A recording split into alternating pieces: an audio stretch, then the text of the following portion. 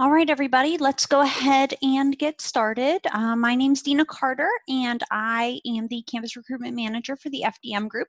I'm going to take some time today to speak with you about virtual interviewing because of the situation that we're in right now. Um, nobody is really interviewing in person, so everybody's sort of having to shift and pivot a little bit to a new virtual format of interviewing.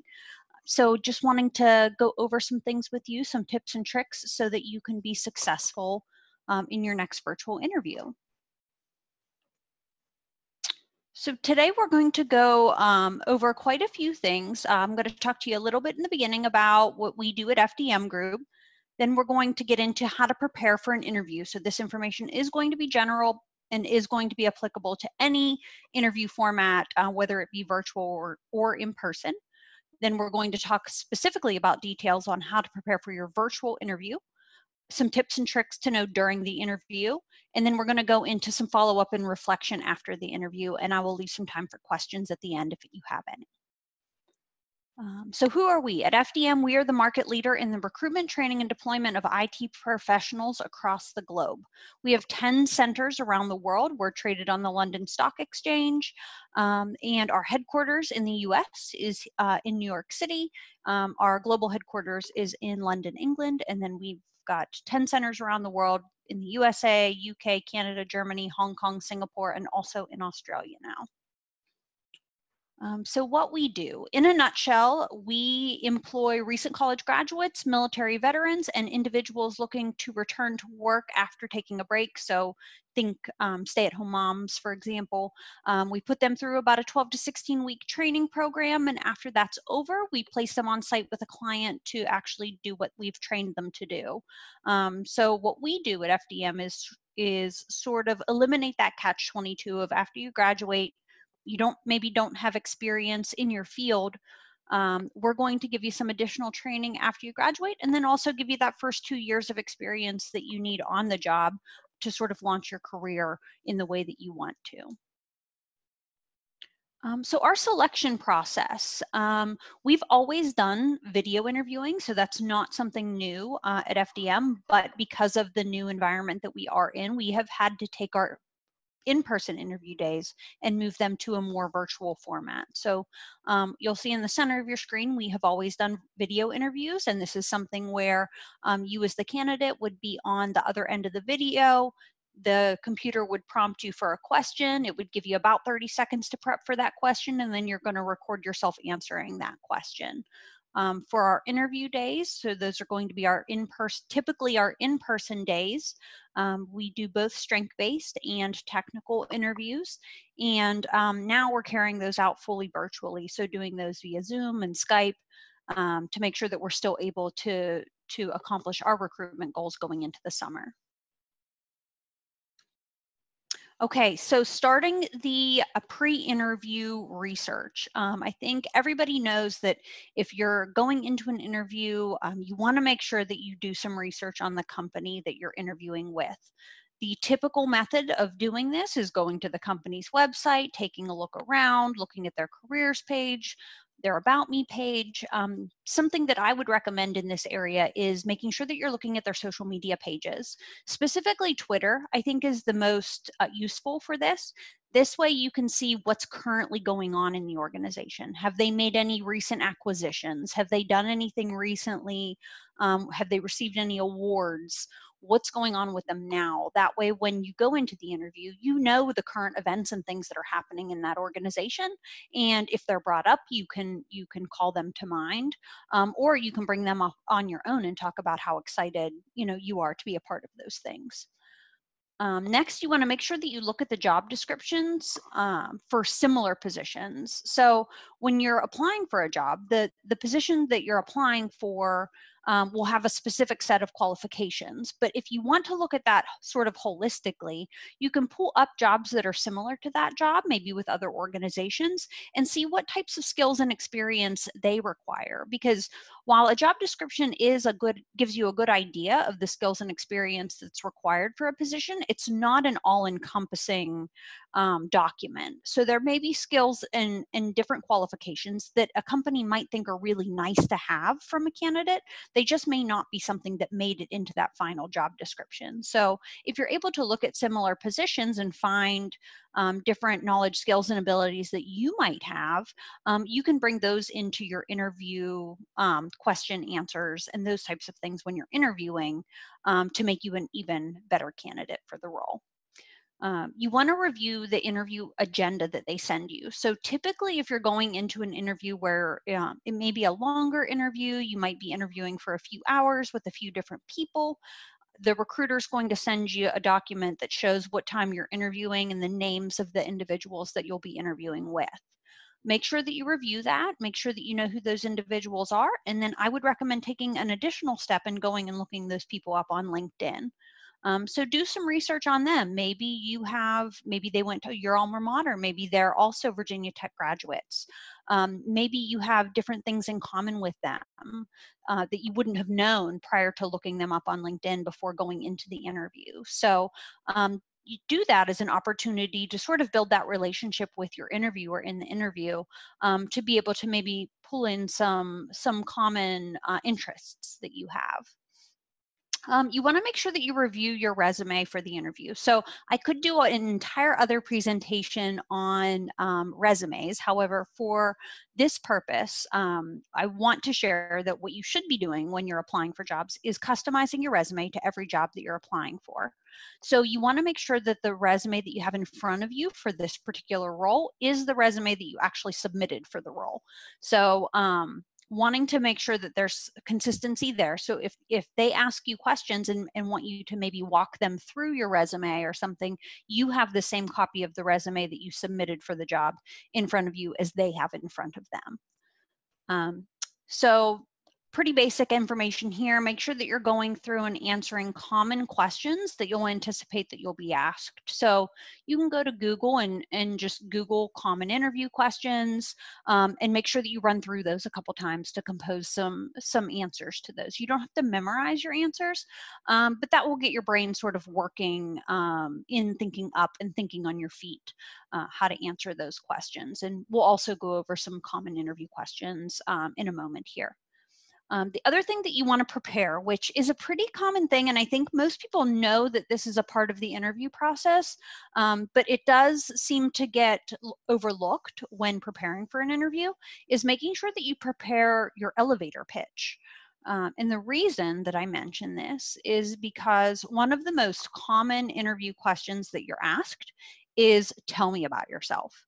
So most interviews that I've ever been on in my life, most interviews that I've conducted in my life, um, the very first question I ask in an interview is tell me about yourself. And at this point, usually this is at the beginning of the interview. If you don't have an answer composed to this question, it can really throw you off for the rest of the interview.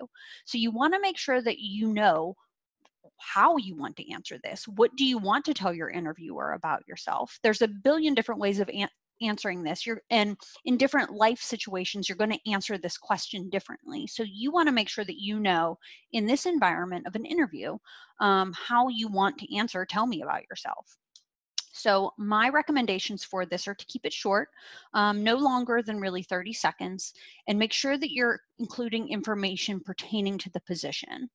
Um, so anything that is anything that you want your interviewer to know outside of what's on your resume, or maybe in addition to what's on your resume, um, this is the time to bring that up. You want to keep this information professional, so you don't want to be telling them necessarily about outside interests or what your life outside of work entails, um, those types of things. Uh, make sure you're doing sort of a um, overview of your education and your experience and the things that make you qualified for this role. Um, and what so a, a good way of sort of composing this is to compose it in a way where you're thinking of what brought you to this point in your career. Um, so, what brought you sitting in front of this interviewer today? And that's sort of what you want to tell the interviewer. Um, and another thing that you want to think about is it's really easy, especially if you haven't prepared for this position, to sort of go through line by line on your resume and sort of talk about, you know, where you started your education, where you finished it, what your what your work experience has been, and those types of things.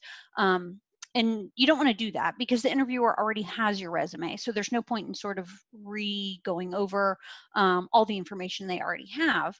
What you want to think of this is, is, as more of a cover letter. So what can you sort of add to um, the information that's on the resume to be able to make a good impact especially at the onset of an interview um, with a question like tell me about yourself. So make sure that you're thinking of this more of a cover letter and more um, as complementary information to what's on your resume. All right, so a few other um, ways to prepare for interview questions. And again, this is just blanket information. This doesn't necessarily pertain solely to virtual interviews, but sort of overall. Um, make sure that you're evaluating your strengths. What are you good at? Do you know that? If you don't know that, you may want to make sure that you list out what your top three strengths are um, and why. Why do you consider these your strengths and when have you used them in, in the past? While you may not be asked the question, you know, what is your biggest strength in an interview, um, you may be asked questions, um, more behavioral questions about situations that you have or um, situations that you've been in where you had to perform a certain way and by listing out the strengths and then and then listing out the examples it'll make those situations a lot easier to um, sort of call to mind in the interview process um, you want to consider experiences that have impacted you professionally. Um, so list the three most important experiences you've had either in your education or in your work experience and why those experiences had the biggest impact on you. Again, in those behavioral questions, um, having these sort of examples sort of in the back of your mind or what i would say you know have all of this in your in your backpack so that when somebody asks for something you're able to sort of pull it out um, and it's not something that you're sort of fumbling around for or answers that you can't call to mind. Um, you sort of have all this in the back of your mind. And then you also want to talk talk about or think about what skills you've gained or improved on in the last year or two or three years. Um, the reason that you want to think about this is because if if you're asked about your greatest weakness or if you're asked a question that's sort of around that around something that um, you may not do so well or, or something along those lines you'll be able to talk about this, these skills that you've gained. So maybe you weren't really great at um, at prioritizing your work initially when you took on your first internship. But through that process, you really learned how um, to prioritize and to time management and to organize your day um, through that process. So it's not necessarily a weakness of yours now, but it is something that you acknowledged that you needed to work on and you actively took steps to improve upon it. Okay, so we'll go through, some common interview questions here. Um, what is your greatest accomplishment? Uh, what is your approach to solving problems? Uh, what is your greatest strength? So we touched on that a bit. Um, why should we hire you? So what sets you apart from other candidates and what about your background and experience is unique? What is your greatest weakness? Also touched on that one a bit. And tell me about a time when. These are those behavioral questions um, that you'll be asked. So tell me about a time when you made a mistake, or tell me about a time when you um, had a conflict with a colleague and how you worked to resolve that. Uh, make sure that you're prepared for those types of questions as well. And then the tell me about your yourself question, which I can't stress enough. Um, make sure that you have an answer uh, for that question composed. Okay, so specific to a video interview, um, these are things that you're going to want to prepare a day in advance. So make sure that you're, if you're using Skype or if you're using a system that requires you to have some sort of ID, um, that is a professional Skype ID. So it's your first name, last name, and a bunch of numbers or something along those lines. Um, I know you're probably the generation of when creating a Skype ID, you might have been in high school or middle school. Um, so, you know, if you were using maybe a sports team in, in the title of your Skype ID or something like that, um, it's, it's time to change that now, um, now that we're using it for more interviews. Um, so just make sure that, that you have a professional ID uh, ready to go and ready to provide to a recruiter. Uh, make sure you test the interview link that you've been sent, and then the computer audio and video. So um, you definitely want to sit down, click the link, even if the room is locked. So I know Zoom sort of blocks rooms before the host opens them up. Even if you can't get into the room, you can still click on it and it'll allow you to test your audio to make sure that um, make sure that sound is coming out of your computer or your headset and that the mic um, is being recognized. So definitely things you want to do um, a day ahead of time.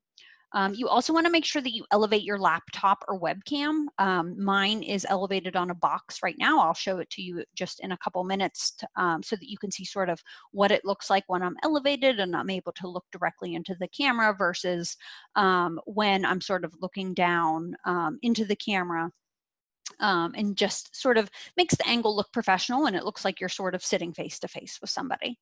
Um, you want to ensure the lighting is in front of you and your background is neutral. So um, this is this is really important. The lighting is really important, and where you have your camera positioned um, is going to help make the best impression.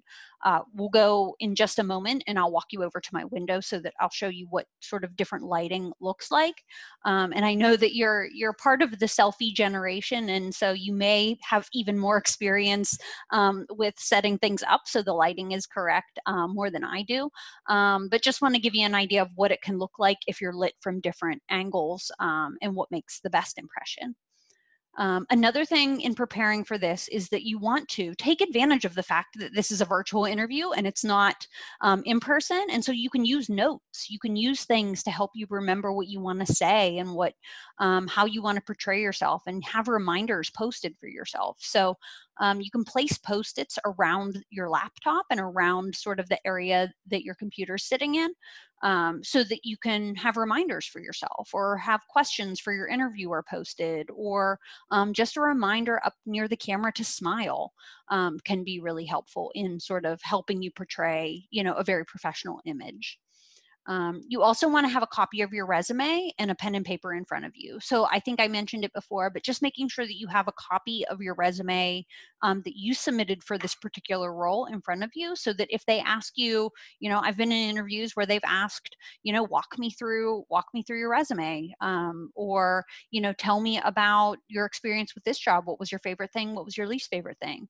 Having that in front of you is going to be really helpful so that you know sort of what to say and what sort of order to, to walk your interviewer through. Um, and then the pen and paper is going to be so that you can take notes.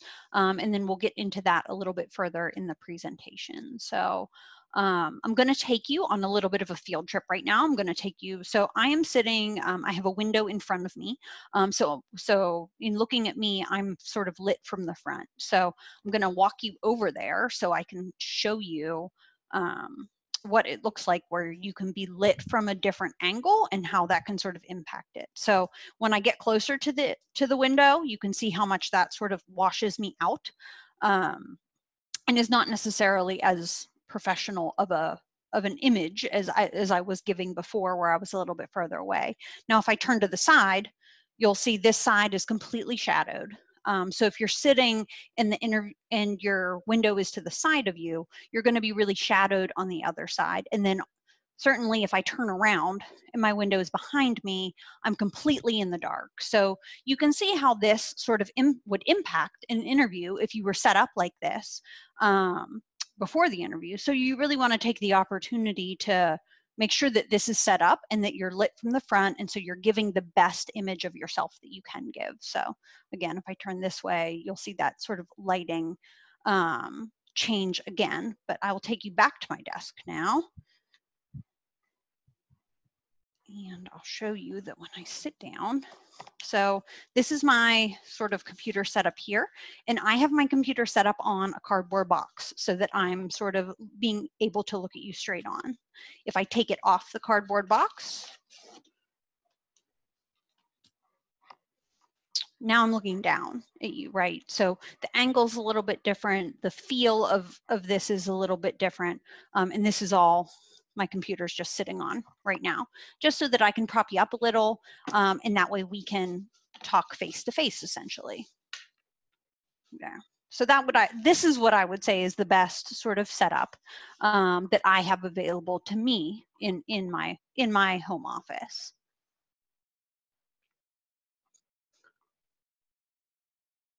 Okay, so um, for your video interview, um, these are things that you can prepare day of. So make sure that you dress professionally. I think that that goes without saying, but um, really, I mean, as you can see, if if we were in a in a virtual interview right now, you'd really only be seeing me from my neck up. So um, making sure that you have maybe a suit jacket on, a nice sweater, um, something along those lines is is going to be perfectly fine. If you want to get in your full internet suit sometimes that can help. It can help you sort of play the part and feel professional and portray yourself in a professional way. So i would never discourage anybody in, in a video interview from putting on sort of their full interview suit or if you're a, if you're a female putting on a skirt and a nice blouse or if you're a man putting you know your suit and tie on um, and being sort of dressed to the nines for the virtual interview, even though someone's not going to really see you from the shoulders down, but it can help you portray yourself in a more professional way. Um, again, day of, check the lighting. So you might set things up the day before, but just make sure that on that day you check the lighting. You can even use your cell phone if you don't want to use the link to the um, to the interview room, um, just take your cell phone, set things up, and like pull up your camera just like this and um, see what you look like on your cell phone camera. Because if it's raining or if it's gloomy, or maybe you set your stuff up in the evening, but your interview is during the day, so um, now you have natural lighting versus um, you know maybe you had all, all your lights on in the evening when you set things up uh, make, just make sure that you're checking it uh, on the day of you want to remove kids, pets, and other distractions from the room. Obviously, um, we're in a very unique place right now um, so people seem to be really understanding you know i have a i have children that are running around outside of my home office right now um, and um, in meetings and different things people tend to hear them running screaming jumping um, and i think you know at this point if if they do hear a dog bark in the background or something it's not going to be as big of a deal i think most people are um, are very sort of accommodating in in the environment that we're currently working in but just you don't want things to distract you. So you want to make sure that you stay on topic and that you are not distracted by those other things. So make sure that you sort of remove them as much as possible from your environment for the duration of the interview um, in, in regards to that, you want to close all applications running on your device. So if you have email open or if you have other things sort of running on your computer at that time, make sure that you close everything down and only open up, um, you know, the Internet Explorer or Chrome or whatever window um, with the interview link in it so that you're just opening up that um, so you don't have any other distractions sort of popping up on the screen or, or anything along those lines um, make sure that you grab a glass of water. I would say absolutely if you are going to be in an interview for um, over an hour, if it's if it's one where there's multiple rounds where you're in that interview for maybe three to four hours, um, make sure that you have a glass of water sitting next to you um, for the interview because you're going to be talking a lot, talking about yourself a lot. You may they may not even give you breaks in between interviewers, so just having that glass of water there where you can take a quick sip, refresh yourself, um, will be really helpful. Um, and then make sure that you silence your cell phone, but make sure that you keep your recruiter's number close. So this is really important. Um, a lot of people, I've heard the advice to, to not even have your cell phone in the room when you interview. Um, but for a virtual interview, because there are so many technical issues that could occur, um, having your phone near you is going to be important because even if you don't encounter a technical in- issue, your interviewer might. So maybe your interviewer is having trouble with Zoom or trouble with Skype or trouble with their um, internet at their house because everybody's sort of operating in this virtual environment right now. It's possible that someone's internet at home may go out at the time of your interview. So having your phone near you to make sure that if any of those things occur to you or occur for your interviewer, you have a way of, of getting in touch with them. So just make sure that it's on silent and maybe a, away from you so that it's not distracting during the actual interview, but but as you're getting things started, make sure that it's there in case there are any technical difficulties that happen. Okay, so um, again, this stuff is pretty basic and applies to both virtual interviewing and um, in-person interviewing, just make sure that you smile, you're pleasant, you're conversational. Um, don't fidget too much or touch your face. I think it's very easy, especially in a virtual environment, and you'll notice I probably do it more than I should, um, is look at yourself while you're talking. And sometimes when you do that, if you notice there's a hair out of place or if you notice that something isn't the way that you want it to be, um, you may be tempted to sort of go and fix it um, like you're looking in a mirror. Um, but but you know try to be conscious not to do that and also sometimes things on video might be more obvious than what they might be in person so if you're continually touching your face or picking at something um, that may be a little bit more obvious because you're you're on video and you're not necessarily um, in an in-person environment so sort of be conscious of of that as well uh, make sure you're making eye contact. So again, um, look into the camera. That's going to give the impression that you're actually making eye contact as opposed to sort of like looking down at yourself um, or even looking at your interviewer. Um, it's best to sort of make sure that you're looking into the camera. And to do that, what you can do is, is you should be able to manipulate your screen. And if you can take your, the little, um, the little image of your interviewer and move it up closer to your camera that will help you to sort of give a better impression if it's if you want to look at them when you're speaking um, that you're looking at them but also um, it appears that you're looking into the camera as well as opposed to if their sort of if their little video icon is in the lower um, portions of your of your desktop. Um, so next uh, make make take your time answering questions. So if you're asked questions, you don't have to have an answer right away. You, you are able to take a moment think about the question and compose your answer. Um, it's best to answer the question in, you know, um, in the way that the interviewer is looking for you to answer. So if you take a moment and sort of sit back and compose that answer, you're going to produce a, a much stronger answer than what you would have if you just would have had a snap decision on how you wanted to answer that question. So especially some interview questions can be confusing, um, especially if there may be like a language barrier between you and your interviewer or something, it can be sort of difficult to, to understand what is being asked and what that interviewer is looking for. So um, if, if you are confused, definitely ask for clarification. If it sounds like they're asking for something, um, just say, you know, do you mean, um, you know, do you want me to talk a little bit about this experience that I've had or something like that, just to sort of get a yes or no from them. Um, and then that way you know that you're answering the question in the way that they want you to. Um, and then avoid giving yes or no answers. So even if it sounds like your interviewer wants to, a yes or a no, like, um, let me think of a question that is a yes or a no.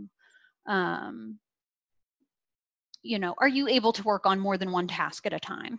Um, if you say you can say yes to that if you if you're able to multitask definitely say yes to that but you want to talk about um, either why you enjoy doing that why you're good at it you know maybe multitasking helps you stay fresh with other um, with other things that you have going on. So you're able to work on one project for an hour and then work on another one and then maybe go back and revisit the original one to help you um, sort of refresh your mind and get a fresh set of eyes on, on the work that you did an hour ago.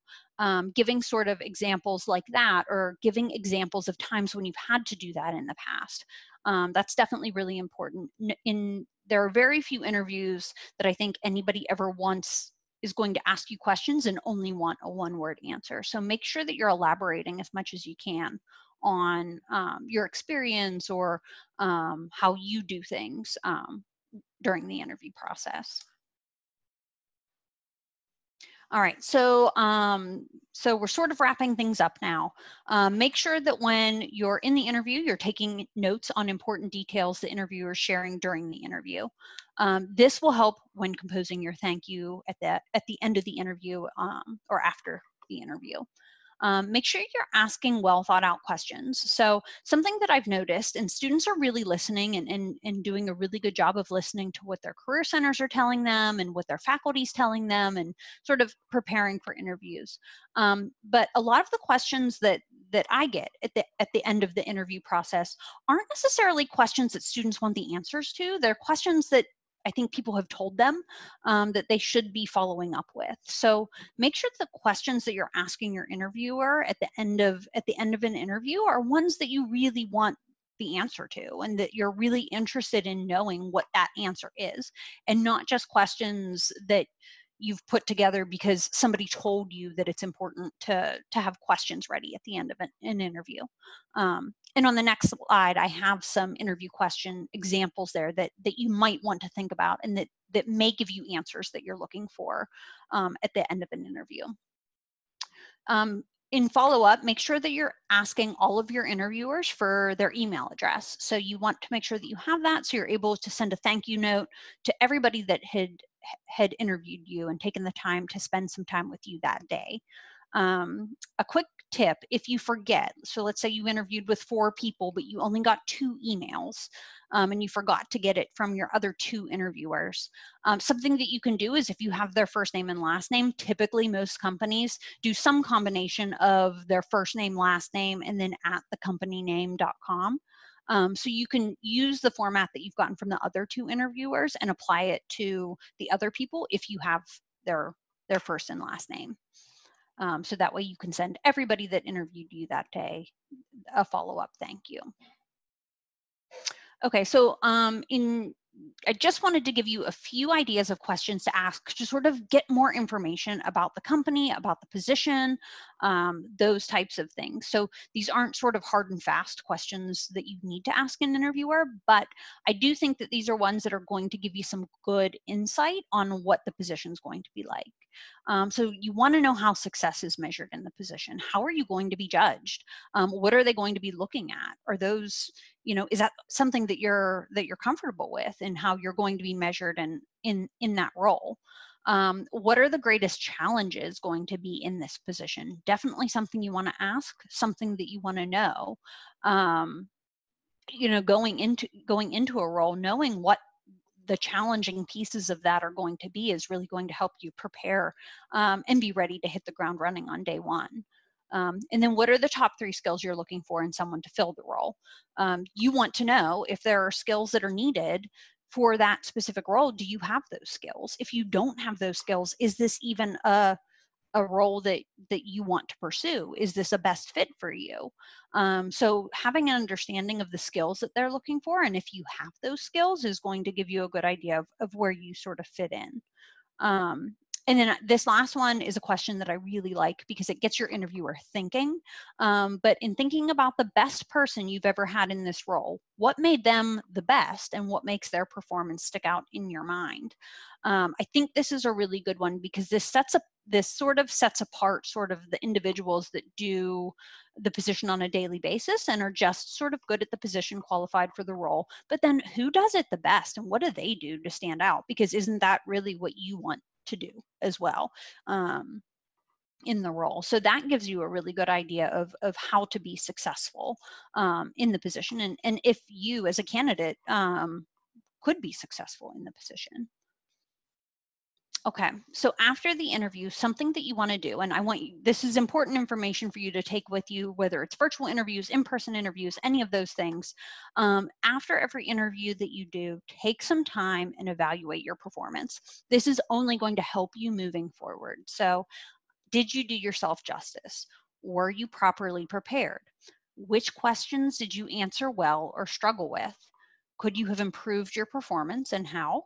Um, were any gaps in your skills or experience revealed during that process? And how could you do things differently next time? Um, so evaluating all of these things and, and helping yourself to sort of see where improvements can be made is going to help you moving forward. Um, and I this this is not advice that is solely for college students, recent college graduates. This is something that I would give this is advice I would give experienced professionals and anybody sort of looking to to change their role um, and anybody looking to sort of start the interview process or start the job search process is make sure that when you're going through this you're evaluating how you've done step by step so that you can improve on your performance when it comes to interviewing um, and something else I do want to mention is that during the interview process, the only thing that you really have control over is is your performance.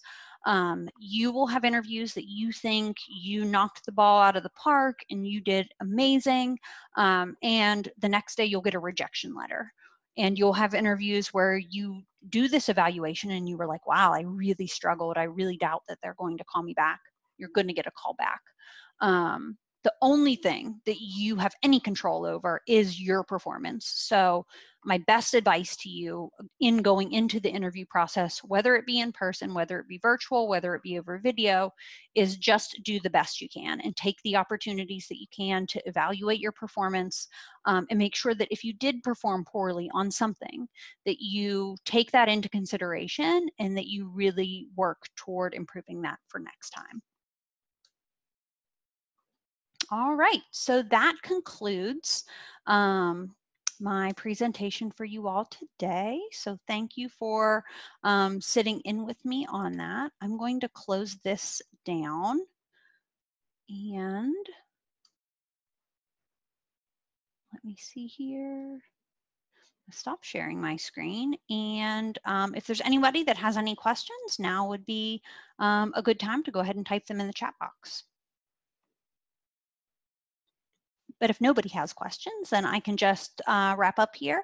Um, I will type my email address into the chat box. If anybody wants to follow up with me, if you have any questions, um, I'm happy to, to answer them for you, to take a quick call with you, um, talk you through any sort of interviewing questions that you have. So thank you, everybody.